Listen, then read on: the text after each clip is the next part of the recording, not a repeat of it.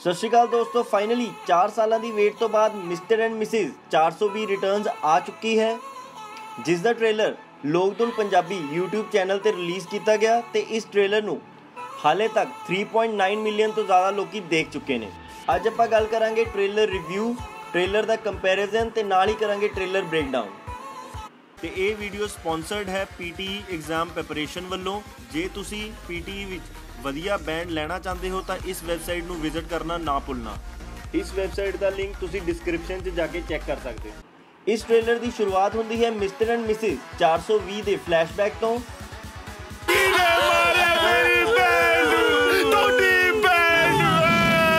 ਦੇ ਦੇ ਯਾਰ। ਜਦੋਂ ਤੱਕ ਪਿਛਲਾ ਬਕਾਇਆ ਨਹੀਂ ਦਿੰਦਾ ਤੈਨੂੰ ਭੁੱਖੀ ਸੁੰਗਣ ਨੂੰ ਵੀ ਨਹੀਂ ਦਿੰਦਾ। ਸਾਰੇ ਪਿੰਡ 'ਚ ਗਾ ਗਾ ਕੇ ਭੋਲੇ ਦੀ ਭੁੱਕੀ ਬੈਸਟ ਭੋਲੇ ਦੀ ਭੁੱਕੀ ਬੈਸਟ ਅਸੀਂ ਤੈਨੂੰ ਖੜੇ ਇਸ ਫਿਲਮ ਵਿੱਚ ਰਣਜੀਤ ਬਾਵੇ ਨੂੰ ਇੱਕ ਨਸ਼ੇੜੀ ਦੇ ਰੋਲ ਵਿੱਚ ਦੇਖਿਆ ਜਾਵੇਗਾ ਜੋ ਕਿ ਕਾਫੀ ਫਨੀ ਲੱਗ ਰਿਹਾ ਹੈ। ਤੇ ਫਿਰ ਸਾਨੂੰ ਦਿਖਦੇ ਨੇ ਗੁਰਪ੍ਰੀਤ ਘੁੱਗੀ। ਇੱਥੇ ਸਾਨੂੰ ਦਿਖਦੇ ਨੇ ਜਸਵਿੰਦਰ ਪੱਲਾ ਤੇ ਨਾਲ ਹੀ ਦਿਖਦੇ ਨੇ ਨਰੇਸ਼ ਕਟੂਰੀਆ ਜਿਨ੍ਹਾਂ ਨੇ ਇਸ ਫਿਲਮ ਨੂੰ ਲਿਖਿਆ ਹੈ ਤੇ ਇਸ ਤੋਂ ਪਹਿਲਾਂ ਵੀ ਉਹ ਕੈਰੀ ਔਨ ਜੱਟਾ ਵਰਗੀ ਸੁਪਰ ਹਿੱਟ ਮੂਵੀਜ਼ ਲਿਖ ਚੁੱਕੇ ਨੇ। ਰੋਜ਼ ਰਾਤ ਨੂੰ ਗਾਲਾਂ ਖਾ ਕੇ ਸੌਂਦੇ ਆ ਲੋਕਾਂ ਤੋਂ। ਹੁਣ ਤਾਂ ਨੀਂਦ ਵੀ ਨਹੀਂ ਆਉਣੀ। ਚੰਗਾ ਫਿਰ ਲੱਤਾਂ ਘੁੱਟ। ਨਹੀਂ ਸੱਚ ਆ ਗਈ। ਤੇ ਫਿਰ ਸਾਨੂੰ ਦਿਖਦੇ ਨੇ ਜੱਸੀ ਗਿੱਲ, ਜਿਨ੍ਹਾਂ ਨੂੰ ਜਸਵਿੰਦਰ ਪੱਲਾ ਵਾਂਗੂ ਇਸ ਫਿਲਮ ਵਿੱਚ ਰਿਟੇਨ ਕੀਤਾ ਗਿਆ ਹੈ ਕਿਉਂਕਿ ਮਿਸਟਰ ਐਂਡ ਮਿਸਿਸ 420 ਵਿੱਚ ਵੀ ਉਹਨਾਂ ਨੇ ਕਾਫੀ ਵਧੀਆ ਐਕਟਿੰਗ ਕੀਤੀ ਸੀ। ਫਿਰ ਐਂਟਰੀ ਹੁੰਦੀ ਹੈ ਅਵੰਤਿਕਾ ਹੁੰਦਲ ਦੀ, ਜੋ ਕਿ ਇਸ ਮੂਵੀ ਵਿੱਚ ਲੀਡ ਐਕਟ੍ਰੈਸ ਦਾ ਰੋਲ ਪਲੇ ਕਰ ਰਹੀ ਹੈ ਤੇ ਜੱਸੀ ਗਿੱਲ ਨੂੰ ਇਸੀ ਕੁੜੀ ਨਾਲ ਪਿਆਰ ਹੋ ਜਾਂਦਾ ਹੈ। ਜਿਹਦੇ ਨਾਲ ਵਿਆਹ ਕਰਾਉਣ ਕਰਕੇ ਜੱਸੀ ਗਿੱਲ ਨੂੰ ਪੈਸੇ ਚਾਹੀਦੇ ਹੁੰਦੇ ਨੇ ਤੇ ਇਸੀ ਕਰਕੇ ਮੂਵੀ ਵਿੱਚ ਸਾਰੀ ਕਨਫਿਊਜ਼ਨ ਆ ਜਾਂਦੀ ਹੈ। ਫਿਰ ਮੇਰੇ 20 ਕਿੱਲਿਆਂ ਦੀ ਕੱਲੀ ਕੱਲੀ ਵਾਰ ਸੜ ਮੈਂ ਇਹਦੇ ਲਈ ਜਦੋਂ ਵੀ ਕੋਈ ਮੁੰਡਾ ਦੇਖਾਂ, ਉਹਦੇ ਕੋਲ 20 ਕਿੱਲੇ ਨਾ ਸੇ। ਥੋੜੀ ਬਹੁਤੀ ਜ਼ਮੀਨ ਤਾਂ ਜ਼ਰੂਰ ਹੋ ਇਸ ਪਿੰਡ ਦੇ ਲੋਕਾਂ ਨੂੰ ਪਤਾ ਹੁੰਦਾ ਹੈ ਕਿ ਇੱਥੇ ਨਿਤ ਚੋਰੀਆਂ ਹੁੰਦੀਆਂ ਨੇ, ਇਸੇ ਕਰਕੇ ਸਕੂਟਰ ਨੂੰ ਵੀ ਤੁਸੀਂ ਇਸ ਜੰਗਲੇ ਦੇ ਅੰਦਰ ਖੜਾ ਦੇਖ ਸਕਦੇ ਹੋ। ਫਿਰ ਵੀ ਆਪਣੇ ਨਸ਼ੇ ਦੀ ਲੱਤ ਨੂੰ ਪੂਰਾ ਕਰਨ ਲਈ ਉਹ ਇਸ ਜੰਗਲੇ ਦੇ ਬਾਹਰੋਂ ਹੀ ਇਸ ਸਕੂਟਰ ਦੀਆਂ ਅੱਧੀਆਂ ਤੋਂ ਜ਼ਿਆਦਾ ਚੀਜ਼ਾਂ ਖੋਲ ਲੈਂਦੇ ਨੇ। ਤੇ ਇੱਥੇ ਸਾਨੂੰ ਪੁਲਿਸ ਦੀ ਯੂਨੀਫਾਰਮ ਵਿੱਚ ਦਿਖਦੇ ਨੇ ਗੁਰਮੀਤ ਸੱਜਣ ਜੋ ਕਿ ਅੱਜਕੱਲ ਹਰ ਇੱਕ ਪੰਜਾਬੀ ਮੂਵੀ ਦਾ ਪਾਰਟ ਬਣ ਚੁੱਕੇ ਨੇ। ਇਸ ਫਿਲਮ ਵਿੱਚ ਤੁਹਾਨੂੰ ਅਨੀਤਾ ਦੇਵਗਨ ਵੀ ਦੇਖਣ ਨੂੰ ਮਿਲਣਗੇ।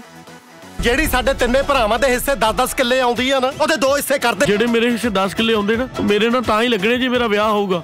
ਨਸ਼ਿਆਂ ਲਈ ਪੈਸਿਆਂ ਦੀ ਕਮੀ ਕਰਕੇ ਰਣਜੀਤ ਬਾਵਾ ਘਰਦਿਆਂ ਤੋਂ ਜ਼ਮੀਨ ਮੰਗਦਾ ਹੈ ਪਰ ਘਰ ਦੇ ਜ਼ਮੀਨ ਉਹਦੇ ਨਾਂ ਤੇ ਉਦੋਂ ਹੀ ਕਰਾਣਗੇ ਜਦੋਂ ਉਹ ਵਿਆਹ ਕਰ ਲਊਗਾ। ਇਸੇ ਕਰਕੇ ਉਹ ਇੱਥੇ ਲਾਵਾਂ ਫੇਰੇ ਮੈਰਿਜ ਬਿਊਰੋ ਵਿੱਚ ਜਾਂਦਾ ਹੈ। ਇੱਥੇ ਰਿਸ਼ਤੇ ਕੌਣ ਕਰਾਉਂਦਾ ਜੀ? ਆਪਾਂ ਹੀ ਕਰਾਉਣੇ ਜੀ। ਤੁਸੀਂ ਤਿੰਨੇ ਨਹੀਂ ਵਿਆਹ ਕਰਾਉਣੇ? ਉਹ ਨਾ ਜੀ ਪਹਿਲਾਂ ਇੱਕ ਕਰਾਓ। ਜੇ ਉਹ ਠੀਕ ਨਿਕਲ ਗਿਆ ਤੇ ਬਾਕੀ ਦੋ ਵੀ ਕਰਾ ਲਾਂਗੇ। ਤੇ ਇੱਥੇ ਮੈਰਿਜ ਬਿਊਰੋ ਦੇ ਕੰਸਲਟੈਂਟ ਕਰਮਜੀਤ ਅਨਮੋਲ ਨੂੰ ਤੁਸੀਂ ਦੇਖ ਸਕਦੇ ਹੋ ਜੋ ਕਿ ਹਰ ਵਾਰ ਹਰ ਮੂਵੀ ਵਿੱਚ ਕੁਝ ਨਵਾਂ ਕਰਨ ਦੀ ਕੋਸ਼ਿਸ਼ ਕਰਦੇ ਨੇ ਤੇ ਇਸ ਵਾਰ ਫਿਰ ਉਹ ਤੁਹਾਨੂੰ ਕੁਝ ਨਵਾਂ ਹੀ ਕਰਦੇ ਦਿਖਣਗੇ।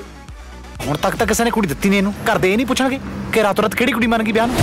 ਇਸ ਸੀਨ ਤੋਂ ਬਾਅਦ ਆਂਦਾ ਹੈ ਮੂਵੀ ਵਿੱਚ ਇੱਕ ਬਹੁਤ ਹੀ ਵੱਡਾ ਟਵਿਸਟ ਜਿੱਥੇ ਕਿ ਜੱਸੀ ਗਿੱਲ ਤੇ ਕਰਮਜੀਤ ਅਨਮੋਲ ਹਾਂਜੀ ਕਰਮਜੀਤ ਅਨਮੋਲ ਕੁੜੀ ਦੇ ਰੋਲ ਵਿੱਚ ਦਿਖਣਗੇ ਇੱਕ ਵਾਰ ਫੇਰ ਕਰਮਜੀਤ ਅਨਮੋਲ ਕਰਕੇ ਇਸ ਟ੍ਰੇਲਰ ਨੂੰ ਕਾਫੀ ਜ਼ਿਆਦਾ ਹਾਈਪ ਮਿਲੀ ਹੈ ਤੇ ਉਹਨਾਂ ਦਾ ਇਹ ਅਵਤਾਰ ਲੋਕਾਂ ਨੂੰ ਕਾਫੀ ਜ਼ਿਆਦਾ ਪਸੰਦ ਆ ਰਿਹਾ ਹੈ जी गंगा सिर पर कोई साई सुई नहीं है के न्यू तो पूरी बॉडी के साई था जी अब क्या करे रब ने प्यारा हो लिया होता ਫਿਰ ਆਪਾਂ ਗੱਲ ਕਰ ਲੈਂਦੇ ਹਾਂ ਰਣਜੀਤ ਬਾਵੇ ਦੇ ਵਿਆਹ ਦੀ ਤੇ ਉਹਦਾ ਵਿਆਹ ਜੱਸੀ ਗਿੱਲ ਨਾਲ ਕਰ ਦਿੱਤਾ ਜਾਂਦਾ ਹੈ ਤੇ ਉਸ ਤੋਂ ਬਾਅਦ ਮੂਵੀ ਵਿੱਚ ਇੱਕ ਹੋਰ ਟਵਿਸਟ ਆ ਜਾਂਦਾ ਹੈ ਜਿੱਥੇ ਜਸਵਿੰਦਰ ਪੱਲਾ ਤੇ ਗੁਰਪ੍ਰੀਤ ਘੁੱਗੀ ਆਸ਼ਕੀਆਂ ਮਾਰਦੇ ਹੋਏ ਦਿਖਦੇ ਨੇ ਮੈਂ ਤੈਨੂੰ ਗੰਗਾ ਤੋਂ ਗੰਗਾ ਕਰ ਭੁੱਲਰ ਬਣਾਉਣਾ ਚਾਹੁੰਦਾ लोग क्या कहेंगे जिस घर में बेटी थी उसी में माँ घुस गई ਕਹਦੀ ਲੋਕਾਂ ਨੂੰ ਕਿ ਜਿੱਥੇ ਕੰਨਿਆਦਾਨ ਕਰਤਾ ਉੱਥੇ ਮਾਂ ਵੀ ਦਾਨ ਕਰ ਸੇਮ ਮੂੰਹ ਹੀ ਵਿਖਾਣਾ ਹੈ। ਤੂੰ ਆਪਣੇ ਮਾਈਕੇ ਬਸ ਇਹੀ ਜਾ ਕੇ ਕਹਿਣਾ ਹੈ, ਮੈਂ ਆਪਣਾ ਹਸਬੰਡ ਅਪਗ੍ਰੇਡ ਕਰਾਇਆ ਹੈ। ਛੋਟਾ ਜਮਾ ਕਰਾ ਕੇ ਤੇ ਮੈਂ ਵੱਡਾ ਇਸ਼ੂ ਕਰਾ ਲਿਆ ਇੱਥੇ ਐਂਟਰੀ ਹੁੰਦੀ ਹੈ ਮੂਵੀ ਦੀ second lead actress Payal Rajput ਦੀ ਜਿਨ੍ਹਾਂ ਨੂੰ ਤੁਸੀਂ ਇਸ ਤੋਂ ਪਹਿਲਾਂ ਕਾਫੀ ਟੀਵੀ ਸੀਰੀਅਲ ਵਿੱਚ ਦੇਖਿਆ ਹੋਵੇਗਾ। ਜੇ ਆਪਾਂ ਮਿਸਟਰ ਐਂਡ ਮਿਸਿਸ 420 ਪਾਰਟ 1 ਦੀ ਗੱਲ ਕਰ ਲਈਏ ਤਾਂ ਉਹ ਮੂਵੀ ਦੀ ਸਟੋਰੀ ਇਸ ਮੂਵੀ ਤੋਂ ਕਾਫੀ ਜ਼ਿਆਦਾ ਡਿਫਰੈਂਟ ਸੀ, ਪਰ ਕਨਸੈਪਟ ਸੇਮ ਸੀ। ਇਸ ਮੂਵੀ ਨੂੰ ਸੇਮ ਹੀ ਡਾਇਰੈਕਟਰ ਨੇ ਡਾਇਰੈਕਟ ਕੀਤਾ ਹੈ ਤੇ ਪ੍ਰੋਡਿਊਸ ਕੀਤਾ ਹੈ ਫਰਾਈਡੇ ਰਸ਼ ਮੋਸ਼ਨ ਪਿਕਚਰਸ ਨੇ ਤੇ ਇਹਨਾਂ ਨੇ ਹੀ ਮਿਸਟਰ ਐਂਡ ਮਿਸਿਸ 420 ਬਣਾਈ ਸੀ। ਜਿਸ ਕਰਕੇ ਆਡੀਅנס ਨੂੰ ਉਹ ਮੂਵੀ ਕਾਫੀ ਜ਼ਿਆਦਾ ਪਸੰਦ ਆਈ ਸੀ। ਤੇ ਇਸ ਵਾਰ ਆਡੀਅנס ਇਸ ਟ੍ਰੇਲਰ ਨੂੰ ਪਿਛਲੇ ਵਾਰ ਦੇ ਟ੍ਰੇਲਰ ਤੋਂ ਜ਼ਿਆਦਾ ਵਧੀਆ ਰਿਸਪੌਂਸ ਦੇ ਰਹੀ ਹੈ, ਜਿਸ ਤੋਂ ਪਤਾ ਲੱਗਦਾ ਹੈ ਕਿ ਮੂਵੀ ਬਾਕਸ ਆਫਿਸ ਤੇ ਵਧੀਆ ਜਾਊਗੀ।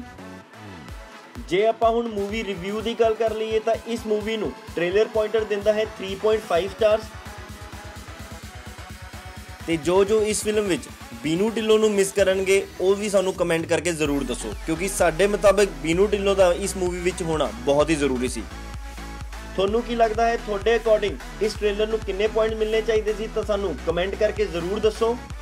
ਤੇ ਨਾਲ ਹੀ ਸਾਡੇ ਚੈਨਲ ਨੂੰ ਵੀ ਸਬਸਕ੍ਰਾਈਬ ਕਰ ਲਓ ਤੇ ਇਸ ਬੈਲ ਆਈਕਨ ਨੂੰ ਜ਼ਰੂਰ ਦਬਾਓ ਤਾਂ ਕਿ ਤੁਹਾਨੂੰ ਆਉਣ ਵਾਲੀ ਵੀਡੀਓਜ਼ ਦਾ ਨਾਲ ਦੀ ਨਾਲ ਪਤਾ ਲੱਗਦਾ ਰਹੇ। ਥੈਂਕ ਯੂ ਸੋ ਮੱਚ ਮਿਲਦੇ ਹਾਂ ਅਗਲੀ ਵੀਡੀਓ ਦੇ ਵਿੱਚ। ਰਾਵੇ ਤੇ ਭਾਵੇਂ ਹੋਵੇ ਵੱਡਿਆ ਤਾਂ ਦਾਰੂ ਪੀਣ ਦਾ ਸਵਾਦ ਮੁਰਗੇ ਦਾ ਲਿਆ